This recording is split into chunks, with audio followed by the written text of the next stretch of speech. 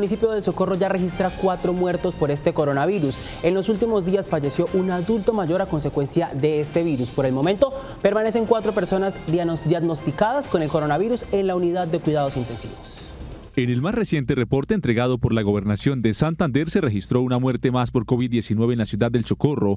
Se trata de un adulto mayor de 67 años quien tuvo múltiples complicaciones a causa del coronavirus en la unidad de cuidados intensivos en algún momento hizo afección eh, renal y pues finalmente los pulmones no terminaron respondiendo a pesar de tener todas las medidas y todo lo que en su momento eh, contábamos en la institución.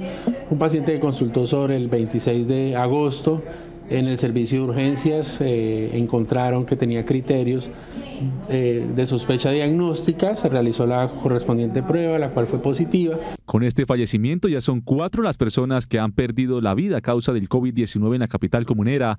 En este momento, de las 23 camas UCI disponibles, hay cuatro ocupadas correspondientes a pacientes confirmados con COVID-19, tres provenientes de San Gil y uno del Peñón y tres pacientes en el área de aislamiento, casos sospechosos de coronavirus correspondientes a una mujer venezolana residente en el Socorro, un paciente de Vélez y otro de Oiva. En el Socorro hay una ventaja gigante y es que los casos siempre han sido aislados, nunca han habido conglomerados de casos, lo cual ha llevado a que sea eh, no de fácil control, porque este virus no es fácil de controlar, pero que las actividades que realiza la población, la comunidad y la Secretaría de Salud del municipio, pues conllevan a que, a que, a que no haya una propagación tan grande con relación al virus. Según reporte de la Administración Municipal, actualmente hay seis casos activos de coronavirus en el Socorro, todos ellos se recuperan en sus viviendas.